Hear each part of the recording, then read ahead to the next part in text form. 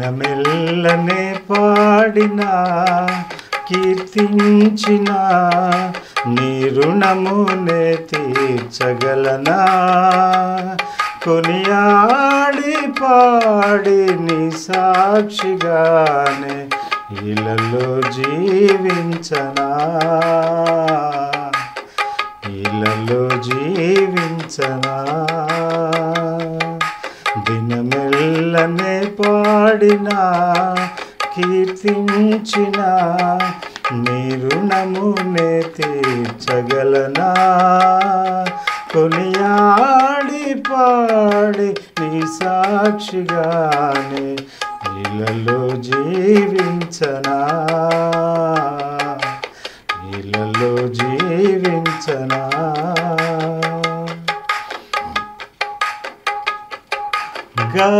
పడిన సమయాన మంచి సమరయునిల నా గాయాలు కడిగిన దేవా. ఆకలైన వేళలో ఆహారమిచ్చి నన్ను పోషించినావు దేవా. గాయపడిన సమయాన మంచి సమరయునిల నా గాయాలు కడిగిన దేవా. ఆకలైన వేళలో ఆహారమిచ్చి నన్ను పోషించినావు దేవా. నిన్ను విడువను ఎడబాయనని నా నిన్ను విడువను ఎడబాయనని నా నాయసయ్యా దినమెల్లనే పాడినా కీర్తించిన నీ రుణమునే తీర్చగలనా? కొనియాడి పాడి నీ సాక్షిగానే ఇలలో జీవించనా? ఇళ్ళలో జీవించనా? ప్రభునందు ప్రియ దైవబిడ్డలకు ఈ షారోన్ పావురు స్వరం అనే ఈ కార్యక్రమం ద్వారా ఈ ప్రార్థన టీవీ వారి సహాయ సహకారాల ద్వారా జరుగుతున్న ఈ పరిచర్యలు బట్టి వందనాలు తెలియజేస్తున్న మీ నుంచి మీ అందరికీ వందనాలు. దేవుడి తన బట్టి గడిచిన సంవత్సరం అంతా కాపాడి ఈ నూతన సంవత్సరంలో ప్రవేశింపు చేశాడు. దేవునికి వందనాలు. సంవత్సరము దయాకిరీటము ధరింపు చేసేవాడు. గొప్ప దేవుడు. ఆరోగ్యం ఇచ్చేవాడు శక్తి ఇచ్చేవాడు బలం ఇచ్చేవాడు ఆయుష్ ఇచ్చేవాడు దేవుడు. యహోవైందు భయభక్తులు కలిగి ఉండుట జ్ఞానమునకు మూలము. యహోవైందు భయభక్తులు కలిగి ఉండుట తెలివికి మూలము. యహోవైందు భయభక్తులు కలిగి ఉండుట దీర్ఘాయుష్యునకు కారణం. అది కలిగిన వాడు తృప్తుడై అపాయము లేకుండా బ్రతుకును. నా కుమారుడా నా ఉపదేశము మరొకము నా ఆజ్ఞ హృదయపూర్వకముగా గైకును. అవి దీర్ఘాయువును సుఖజీవనముతో గడుపు సంవత్సరములు శాంతిని నీకు దయచేయను. దయను సత్యమును ఎన్నడను నిన్ను విడిచిపోనీయకు. వాటిని కంఠభూషణముగా ధరించుకును. వాటిని నీ హృదయమైన పలక మీద వ్రాసుకును. అప్పుడు మనుషుల దయ్యందును దేవుడి దేదులను మంచివాడవని అనిపించుకుందు. అని దేవుడు తన గ్రంథం ద్వారా అనేక మాటలు రాస్తూ ఉన్నాడు. కనుక ఈ నూతన సంవత్సరంలో నువ్వు ఆశించి దక్కాలన్నా అనుకున్నది జరగాలన్నా దేవునితో సహవాసం చాలా అవసరము అని ప్రభు పేట మీ అందరికీ మనవి చేస్తూ ఉన్నాను.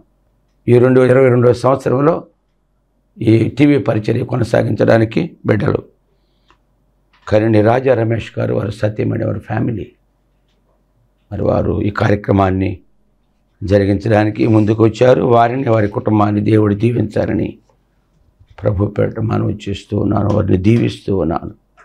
దేవుడు మనల్ని పిలుచుకున్నాడు.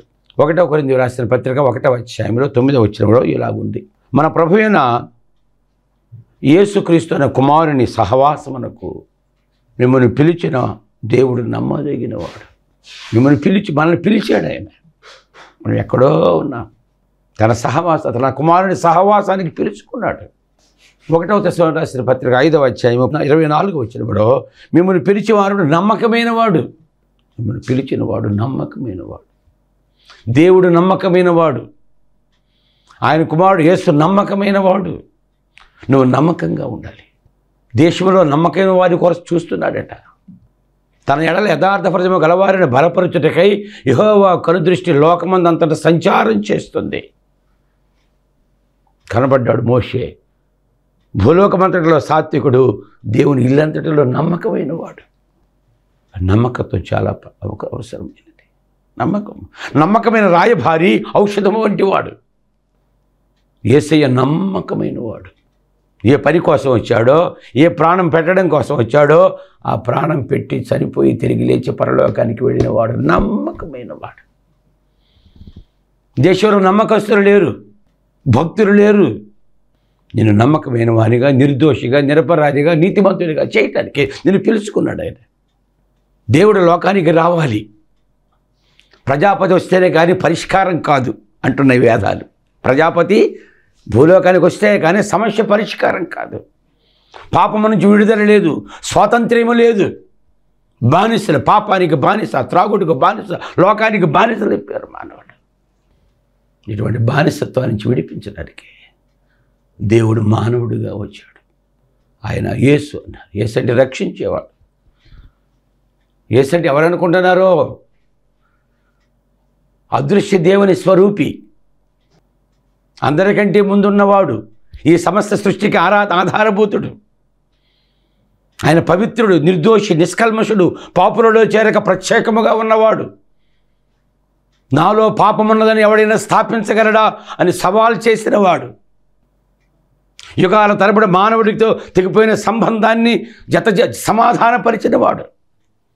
తెగిపోయిన మానవ సంబంధాన్ని దేవునితో దాన్ని సమాధానపరచడానికి దేవుని కుమారుడు వచ్చాడు. ఆయన యేసు. ఆయన నిన్ను ప్రేమించి నిన్ను పిలుచుకున్నాడు. ఆయన నమ్మకం నిన్ను పిలిచినవాడు నమ్మకమైన వాడు ఒకటో యోహాను పత్రిక నాలుగో అధ్యాయం ఇరవై నాలుగో వచ్చినప్పుడు చిన్నపిల్లలారా మీరు దేవుని సంబంధులు. మీలో ఉన్నవాడు లోకములో ఉన్నవాడి కంటే గొప్పవాడు. నువ్వు ఈ లోక సంబంధివి కావు నువ్వు ప్రకృతి సంబంధివి కావు దురాత్మ సంబంధివి కావు దేవుని సంబంధివి. అందుకే దీన్ని పిలుచుకున్నాడు. ఒకటో కొరింది రాసిన పత్రిక ఒకటో అధ్యాయంలో ఇరవై ఆరు వచ్చినములు సహోదరులారా మిమ్మల్ని పిలిచిన పిలుపుని చూడుడి. మీరు లోకరీతిని జ్ఞానులైనను ఘనులైనను గొప్ప వంశం వారైనను అనేకులు పిలువబడలేదు. కానీ ఏ శరీరయు దేవుని ఎదుట అతిశయింపకుండానట్లు జ్ఞానులను సిగ్గుపరచుటకు లోకములో ఉండేవారు. వెర్రి వారిని దేవుడు ఏర్పాటు చేసుకున్నాడు. మీ పిలుపుని చూసుకో. నువ్వు జ్ఞానివని పండితుడవని గొప్పవాడవని మంచివాడని పిలవలేదు. నేను పాపరును పిలువవచ్చు తిని నడేసయ్య లోకములో త్రాణకర్తలు జగద్గురువులు మఠాధిపతులు ముఠాధిపతులు సిద్ధాంతులు వేదాంతులు సాధువులు సన్యాసులు అమ్మగారులు అయ్యగారులు అందరూ వచ్చారు అందరూ. దుష్ట శిక్షణ శిస్త రక్షణ అన్నారు దుస్తుల్ని సంహరించాలి శిష్టుల్ని భక్తుల్ని కాపాడాలి. యదా యదా హి ధర్మస్య గ్లానిర్భవతి భారతభ్యుద్ధానమధర్మస్య. తదాత్మానం స్వయంహం పరిత్రాణాయ సాధూనాం వినాశాయ తదుష్కృతాం ధర్మ సంస్థాపనార్థాయ సంభవామి. యుగే యుగే. యుగ యుగాల్లో ధర్మాన్ని స్థాపించడానికి దేవుడు వస్తున్నాడు అవతారాలు వస్తున్నాడు దేవునికి యుగానికి దే యుగ యుగాలకు వచ్చే దేవుడు మారేవాడు కాదు. ఏ యుగానికైనా దేవుడు ఒక్కడే. ఏ మతానికైనా ఏ కాలానికైనా ఏ మతానికైనా ఏ దేశానికైనా ప్రపంచానికి దేవుడు ఒక్కడే. కృతయుగానికి దోపర యుగానికి త్రేతాయుగానికి కలియుగానికి ఒక్కడే దేవుడు. ఒక యుగానికి ఒక దేవుడు ఒక గదికి ఒక మది దేవుడు ఉండడు. గాలి ఒకటే త్రాగే నీరు ఒకటే నడిచే నేల ఒకటే ఒక్కటే. సూర్యుడు ఒక్కడే చంద్రుడు ఒక్కడే ఆకాశం ఒకటే కనిపించేది. మిమ్మల్ని పిలిచిన పిలుపుని చూడుడి. వెర్రివారిని పిలుచుకు. జ్ఞాన జ్ఞానం యొక్క జ్ఞానాన్ని వ్యర్థం చేయటానికి. అతిశయించేవాడు నన్ను బట్టి అతిశయించవలను అంటున్నాడు. కనుక మీ పిలు మిమ్మల్ని పిలిచిన పిలుపును మీరు చూసుకోండి అని ఇక్కడ జ్ఞాపకం చేస్తున్నాడు. బలవంతులైన వారిని సిగ్గుపరచుడు లోకములో బలహీనులైన వారిని దేవుడు ఏర్పరచుకున్నాడు. ఎన్నికైన వారిని వ్యర్థము చేయుటకు లోకములో నీచులైన వారిని తృణీకరించబడిన వారిని ఎన్నిక లేని వారిని దేవుడు ఏర్పరచుకున్నాడు. అయితే ఆయన మూలముగా మీరు క్రీస్తునందున్నారు. అతిశయించేవాడు ప్రభువునందు అతిశయింపవారని వ్రాయబడి ఉన్నది. అని ఇక్కడ. ప్రయాసపడి భారం వస్తున్న సమస్తమైన వారలారా నా రండి. నా యొద్దకు వచ్చి నేర్చుకొనుడి. నన్ను చేర్చుకొనుడి మీ మనసులో మార్చుకొనుడి. పరలోకధనం కూర్చుకొనుడి లోకములో శవనను ఓర్చుకొనుడి కొంచెం కాలము. నా దగ్గరికి రండి పిలుస్తున్నాడు. ప్రియా దేవుని బిడరారా దేవుడి గడిచిన సంవత్సరం అంతా కాపాడు. భయంకరమైన కరోనా నుంచి తప్పించాడు. నేను బ్రతికిస్తున్నాడు. దేవుడు బ్రతికించేవాడు. ఒకటవ సమయంలో గ్రంథంలో రెండవ అధ్యాయంలో ఆరో వచనంలో చెబుతున్నాడు జనులను సజీవులుగాను మృతులుగా చేయువాడు యహోవాయే. పాతాళానికి పంపుచు అందులో నుంచి రప్పించువాడు యహోవాయే. కృంగజేయవాడు లేవనెత్తువాడు ఆయనే యహోవాయే దేవుడే. మానవుడు అందరికీ సమయం ఇస్తాడు దేవుడికి మాత్రం సమయం ఇవ్వడు. నీ ఆరోగ్యము నీ బలము నీ శక్తి నీ ఆయుష్ నీ జీవన ప్రమాణము ఈ లోక ప్రయాణం ఆయన చేతిలో ఉంది. బబులోని సామ్రాజ్యాధినేత బబులోని సామ్రాజ్యనేత నిపుగద్ద చక్రవర్తి కొడుకు బెల్తషాసర్ బెల్షాసర్ ఆయన గురించి బైబిల్లో ఒక మాట చెప్పాడు దానియలు గ్రంథం ఐదవ అధ్యాయంలో. ఏ బెల్షజరు నీవును నీ రాణులను నీ ఉపపత్నులను నీ అధికారులను దేవుని ఆలయ సంబంధమైన పాత్రలో ద్రాక్షరసం పోసి త్రాగుచు చూడనైనను విననైనను గ్రహింపనైనను చేతకాని ఇనుము వెండి బంగారము ఇనుము ఎత్తడి కర్ర రాయి అనివాటుతో చేయబడిన దేవతలను స్థుతించదిరి కానీ నీ ప్రాణమును నీ సకల మార్గమును ఏ దేవుని వశమున ఉన్నవో ఆయనని స్థుతించలేదు కనుక మెనే మెనే టెకెల్ పార్సేన్ నీవు త్రాచులో తోచగా తక్కువగా కనబడితివి నీ లెక్క సమాప్తి అయిపోయింది ఈ రాత్రే. నీ ప్రయాణానికి ముగింపు అని. ఒక సామ్రాజ్య నేతతో దేవుడు మాట్లాడినట్లుగా గ్రంథంలో చూస్తున్నా. కనుక ప్రియ దేవుని బిడ్డలారా దేవుడు నేను ఎందుకు పిలిచాడు? ఏ కారణంతో పిలిచాడు? నీ అవసరం ఆయనకి ఏంది? అనే విషయాలు ఆలోచించినట్లయితే బైబిల్ గ్రంథంలో పిలుస్తున్నాడు ప్రజలందరినీ. కానీ వెలుగు లోకమునానికి వచ్చిన కానీ మనుషులు చీకటిలో ఉన్నందున వెలుగును ద్వేషించిరి చీకటను ప్రేమించిరి.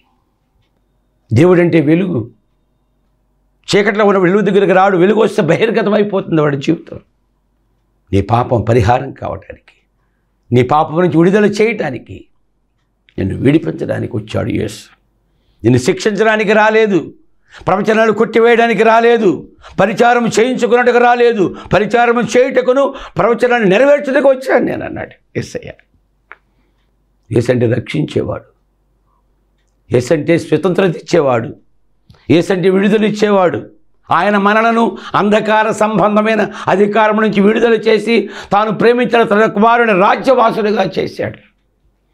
ఆ కుమారుని ఎందే మనకు విమోచనము అనగా పాపక్షమాపణ కలుగుతుంది విమోచనం అంటే ఏదో బంధకాలు పాపమనే బంధకాల నుంచి విమోచన విడుదల. ఎందుకంటే పాపికి నరకమే శరణ్యము. పాపికి పరలోక ప్రాప్తి లేదు. ఆ పాపి పాపాలు క్షమించబడితేనే వాడు పరలోక రాజ్యానికి వెళ్ళగలడు. అందుకే వచ్చాడు ఏసయ్య పండగ చేసుకో. క్రిస్మస్ పండగ. ఆమె యొక్క కుమారుని కనును తన ప్రజలను వారి పాపం నుంచి ఆయనే రక్షించుడు గనుక ఆయనకి ఏసరి పేరు పెట్టుదు అనడు ప్రజలందరికీ కలుగు మహా సంతోషకరమైన స్వర్తమానం నేను నీకు తెలియచేస్తున్నాను దావీదు పట్టణం నేను రక్షకుడు మీ కొరకు పుట్టి ఉన్నాడు. ఏసేయండి రక్షించేవాడు. ఆయన చెప్పాడు మీరు సర్వ సృష్టికి వెళ్ళి నా సువార్తను ప్రకటించండి. పరలోకమందును భూలోకమందును నాకు సర్వాధికారం ఇవ్వబడి ఉన్నది. మీరు వెళ్ళి మనుష్యుడు నా శిష్యులుగా చేయండి. నమ్మి బాప్తేశం పొందినవాడు రక్షించబడును. నమ్మని వానికి శిక్ష విధించబడును. కనుక ఈ మాటలు జ్ఞాపకం చేసుకుని జరిగిపోయింది అయిపోయింది. ఇరవై రెండు అయిపోయింది ఇరవై ఒకటి అయిపోయింది ఇరవై రాధిక ఇరవై మూడు నీ ముందు ఉంది. ప్రభుని ఆశ్రయించు. ప్రధేయపడు అడుగు ఇస్తాడు. ఆయన ఏమైనా చేయగలడు. ఇది గడువు సంవత్సరంగా ఇచ్చాడు నీకు. మిమ్మల్ని పిలిచిన పిలుపు ఎందుకు పిలుచుకున్నాడు అని ఆలోచన ఒకటి స్వతంత్రతులుగా ఉండడానికి పిలిచాడట దేవుడు. గలదేవి రాసిన పత్రిక ఐదవ అధ్యాయంలో పదమూడు పదిహేను చదివితే సహోదరుడారా మీరు స్వతంత్రులుగా ఉండటకు పిలువబడితేరి అయితే ఒక మాట ఆ స్వాతంత్ర్యమును శారీరక క్రియలకు హేతువు చేసుకొనక ప్రేమ కలిగిన వారై ఒకరికొకడు దాసులయ్యుండు మీరు స్వతంత్రులుగా ఉండడానికి పిలువబడితే అయితే ఈ స్వాతంత్ర్యమును శారీరక క్రియలకు హేతువు చేసుకొనక ప్రేమ కలిగిన వారై ఒకరినొకడికి దాసులై ఉండు క్రీస్తు యేసుకు ఈ మనస్సు మీరు కలిగి ఉండు ఆయన దేవుని స్వరూపము కలిగిన వాడై ఉండి దేవునితో సమానముగా ఉండి విడిచిపెట్టకూడని భాగ్యం ఎంచుకొనలేదు కానీ మనుషుల పోలికగా పుట్టి దాసుని స్వరూపము ధరించుకొని తను తాను రిక్తునిగా చేసుకున్నాడు. దేవుడే దాసుడుగా వస్తే నువ్వు నాయకుడిగా ఉండవని అధికారం చెలాయిద్దామని కింద వాళ్ళు తొక్కేద్దామని దేవుడు నిన్ను తొక్కేస్తాడు. నువ్వు ఒకటి దొక్కితే ఒకటి పైన నిన్ను దొక్కుతాడయ్యా. తాటిని తన్నేవాడు ఆడ తల తన్నేవాడు ఇంకోటి ఉంటాడట మర్చిపోకు. యోహాను సువార్త ఆ ఎనిమిదవ అధ్యాయంలో యేసయ్య చక్కని మాట జ్ఞాపకం చేస్తున్నాడు. యోహాను సువార్త ఎనిమిదవ అధ్యాయంలో ఏంటన్నయ్యా ఏ ఏ చెప్పి చెప్పి చెప్పి ఏంది మాకు తెలియదా ఏందన్నయ్యా బైబిల్ తెలియదా వాక్యం తెలియదా ప్రార్థన తెలియదా నూతుల కప్పనుకుంటుందట కోపస్థ మండూకం అన్నాడు. తెలుసా? కోపస్థ మండూకం అంటే కోపస్థం అంటే నుయ్యి. మండూకం అంటే కప్ప. కోపస్థ మండూకం అంటారు. ఈ నూతిలో కప్ప అది నుయ్యే సముద్రం అనుకుంటుందట. బయట సముద్రం తెలియదు దానికి. నీకు తెలిసిందంత నాకు తెలిసిందంత. తెలిసింది కొంత తెలుసుకుంది ఎంతో అనంతం. కనుక నేర్చుకో. నేడు నేను నీకు ఆజ్ఞాపించి ఈ మాటలు నీ హృదయంలో ఉండవలను. హృదయం నిండి ఉండి దానిని బట్టి నోరు మాట్లాడును. సజ్జనుడు తన మంచి ధననిధి నుంచి సద్విషయములను తెచ్చును. దుర్జనుడు తన చెడ్డ ధననిధి నుంచి దుర్విషయములు తీసుకొస్తాడు. దేవుడు నీకు జీవితాన్ని ఇచ్చాడు. మట్టి అయిపోతే మర్చిపోవలసిందే. కనుక చచ్చిపోయి ఉంటే లేదు అవకాశం. నువ్వు బ్రతికున్నావు కనుక ఆలోచించే జ్ఞానం ఉంది కనుక కళ్ళు చూస్తున్నాయి గనుక చెవులు వింటున్నాయి గనుక నోరు మాట్లాడుతున్నాయి గనుక నా కాళ్ళు నడుస్తున్నాయి గనుక ఇప్పుడే మిక్కిలి అనుకూలమైన సమయము. ఇదే రక్షణ దినము. ఇంకా వాక్యం చదువు తెలుసుకో. ఆకలి లేదు దాహం లేదు. వాక్యం ఎడల రుచి లేదు. లోకం కావాలి ఆశలు కావాలి లోకం కావాలి. ఎంతకాలం? కనుక నా ప్రియ దేవుని బిడ్డ యెహోవా స్వార్థ ఎనిమిదవ అధ్యాయంలో ముప్పై ఒకటి. కాబట్టి యేసు తాను నమ్మిన యూదులతో మీరు నా వాక్యం నిలిచిన వారైతే నిజముగా నాకు శిష్యులై ఉండి సత్యమును గ్రహించదరు. అప్పుడు సత్యం మిమ్మల్ని స్వతంత్రులుగా చేస్తుంది. అప్పుడు సత్యము మిమ్మల్ని స్వతంత్రులుగా చేస్తుంది.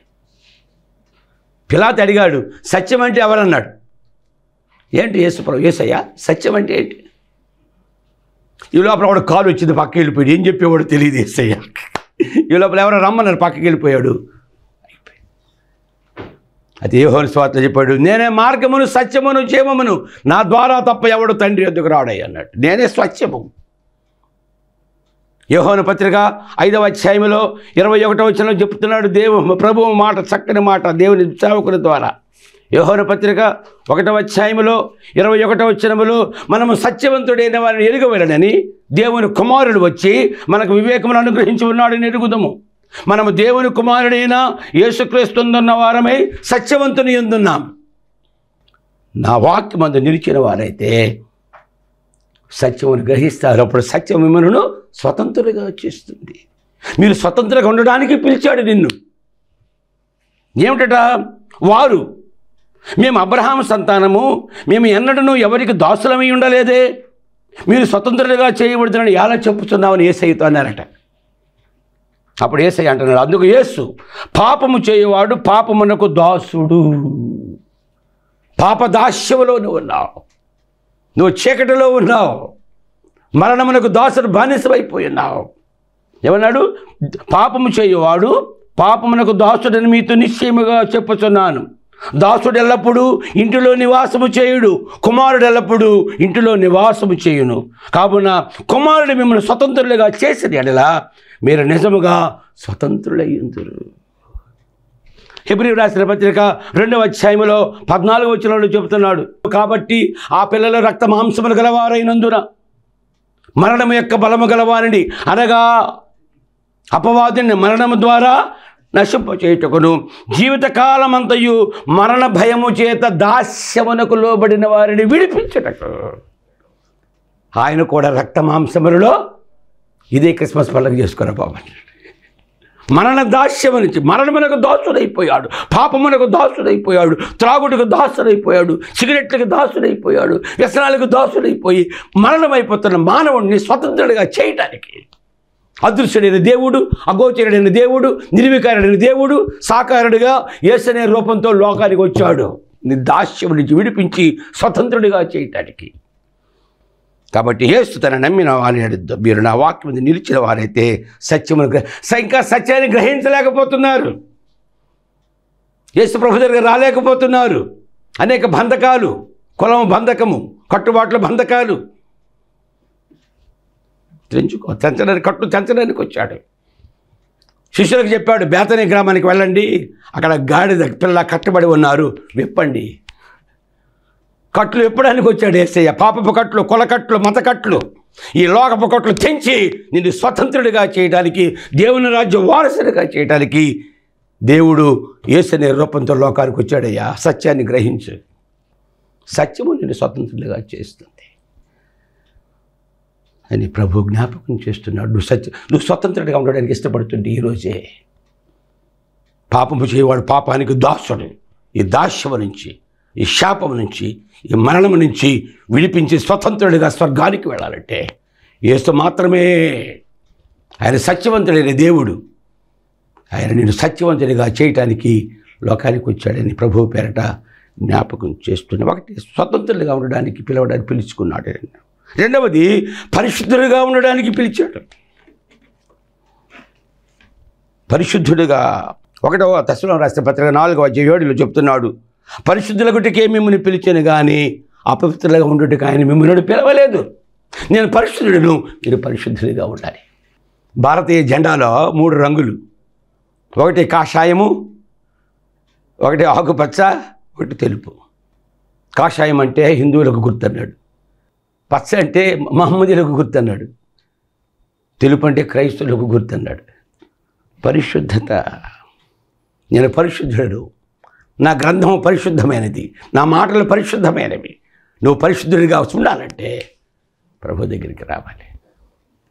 ఆరు మాసాలు ఆరు మాసాలు స్నేహం చేస్తే వీరు వారు అయిపోతారట వారు వీరు అయిపోతారట నువ్వు ఎవరితో స్నేహం చేస్తున్నావు? ఏసయ్య పాపము లేనివాడు. ఏసయ్య పురుష సంతానము కాదు ఏసయ్య స్త్రీ సంతానము. అటువంటి ఆ పరిశుద్ధుడైన దేవుణ్ణి ఆశ్రయిస్తే నువ్వు పరిశుద్ధుడిగా మారటానికి నీకు అవకాశం దక్కుతుంది కనుక. నేను పరిశుద్ధులు మీరు పరిశుద్ధులుగా ఉండాలని ప్రభు జ్ఞాపకం చేస్తున్నాడు. ఫిబ్రవరి రాసిన పత్రిక పన్నెండు పద్నాలుగులో అందరితో సమాధానమును పరిశుద్ధత కలిగి ఉండేటకు ప్రయత్నించుడి. పరిశుద్ధత లేకుండా ఎవడను ప్రభువుని చూడలేడు. ఇక్కడ కొరింది రాసిన పత్రిక ఒక చక్కని మాట చెప్తే కొరింది రాసిన పత్రిక ఏడవ అధ్యాయంలో పద్నాలుగులో అవిశ్వాసి అయిన భర్త విశ్వాస భార్య వలన పవిత్రపరచబడదు. అవిశ్వాసి అయిన భార్య విశ్వాసి అయిన భర్త చేత పవిత్రపరచబడును. నేను పవిత్రుడను అన్నాడు. మేము ఆయన ప్రకటించే ప్రకటించే వర్తమానమేమనగా దేవుడు వెలిగి ఉన్నాడు. ఆయన చీకటి ఎంత మాత్రమూ తెలియదు ఆయనతో కూడా సహవాసం మనం చెప్పుకొని మన చీకటిలో నడిచిన మనం అబద్ధం ఆడుతూ సత్యమును జరిగించుకుంది. అయితే ఆయన వెలుగులో ఉన్న ప్రక మన వెలుగు నడిచిన ఎడలా మన ప్రతి పాపమైన రక్తములో పరిశుద్ధ పవిత్రుడిగా చేస్తాడు యేసు రక్తము ప్రతి పాపము నుంచి నేను పవిత్రుడిగా చేస్తుంది. అని ఇక్కడ జ్ఞాపకం కనుక పరిశుద్ధుడిగా ఉండడానికి. పరలోకం పరిశుద్ధము. నువ్వు పరిశుద్ధుడిగా ఉంటేనే పరలోక ప్రాప్తి నీకు లభిస్తుంది. ఆ పరిశుద్ధత కోసమే దేవుడు మానవుడిగా వచ్చే రక్తాన్ని చిందించాడు. బలైపోయాడు మరణమైపోయాడు. ఇంక ఆ యేసు ప్రభుత్వాన్ని తాను రక్షించుకోలేకపోయాడు ఏందయ్యా? మా దేవుడు చూడు తగ్గేది లేదు. నీ పాపాన్ని పరిహారం చేయడానికి వేదాలు చెప్పాయి రక్తము చిందించబడకుండా పాప క్షమాపణ లేదు అందుకే దేవుడు లోకానికి వచ్చి అందుకు చనిపోయాడు. ఆయన ఆయన శత్రువులు జయించలేక కాదు ఎదిరించలే కాదు. ఆయన నాన్నే రక్షించుకోలేకపోయాడు అంటున్నావు ఇంకా నువ్వు. ఆయన చనిపోతేనే నీకు విడుదల. ఆయన రక్తం చిందిస్తేనే నీకు పాపక్షమాపణ. న పుణ్యో దాన ధర్మశ్చ న కర్మశ్చ పుణ్యం భవత్. న పుణ్యో ప్రాణదానశ్చ జగత్పుణ్యం నహీ నహి. సర్వపాప పరిహారో రక్త ప్రోక్షణం అవశ్యకం. తద్రక్తం పరమాత్మేన పుణ్యదాన బలియ. పరమాత్ముడే లోకానికి వచ్చి రక్తం చిందిస్తాడు. అప్పుడే నీవు పవిత్రుడిగా అయిపోతావు. పాపం నుంచి విడుదల పొందుతావు అని. ఒకటి స్వతంత్రంగా ఉండడానికి పిలిచాడు. రెండు పరిశుద్ధులుగా ఉండడానికి దీన్ని పిలిచాడు. మూడవదిగా ఆయన ప్రకటించడానికి దీన్ని పిలిచాడు. యేసు ఎలాంటి వాడు? ఆయన ఎందుకు వచ్చాడు? ఏం చేశాడు? ఆయన్ని ప్రకటించడానికి అని ప్రభువు పిలిచినట్లుగా చూస్తున్నాను.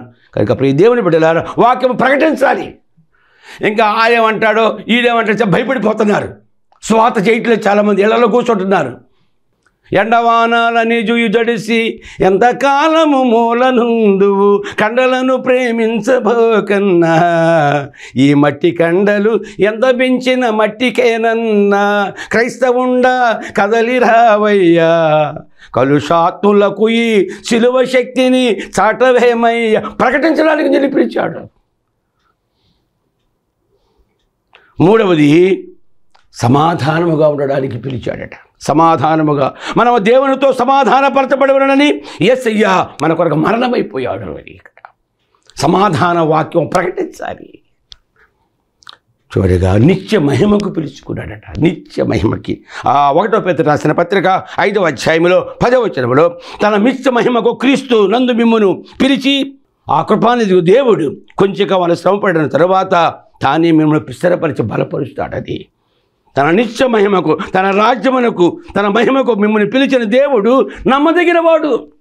ప్రియ దేవుని బిడలారా ఈ నామం నిమిత్తం సమస్త విశ్వాసులకు విధేయులగునట్టు ఈయన ద్వారా వేసిన కృపలు అపోస్తులత్వం పొందితిమి. మీరును వారిలో ఉన్నవారే యేసుక్రీస్తు వారుగా ఉండుటకు పిలువబడ్డాడు అన్నాడు ఆయనలాగుండాలి ఇది. ప్రభువు జ్ఞాపకం చేస్తున్నాడు కనుక దేవుడు ఎందుకు పిలిచాడంటే స్వతంత్రంగా ఉండడానికి పరిశుద్ధులుగా ఉండడానికి ప్రభువును ప్రకటించడానికి సమాధానముగా ఉండడానికి నిత్య మహిమకు పిలుచుకున్నాడు కనుక. ఈ మాటలు జ్ఞాపకం చేసి ఇరవై రెండు ఇరవై మూడవ సంవత్సరంలో ఆ పిలుపుని ఏర్పాటు నిశ్చయం చేసుకుని మరి జాగ్రత్త పడవలసిన మనవి చేస్తున్నాను. మమ్మల్ని మిక్కిలిగా ప్రేమించిన మా పరలోకపు తండ్రి ఏసయానికే స్తోత్రాలు. విత్తిన వాక్యాన్ని హృదయంలో భద్రపరచండి సాతాలు ఎత్తుకుపోకుండా.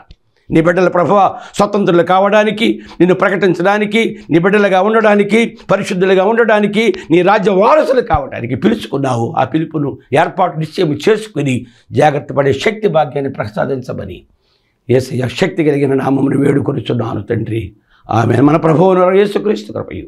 తండ్రి అయిన దేవుని ప్రేమ పరిశుద్ధాత్మ సహవాసం నిరంతరం మీకు తోడుగా ఉండి అధికముగా వర్ధిల్ల చేయునుగాక ఆమె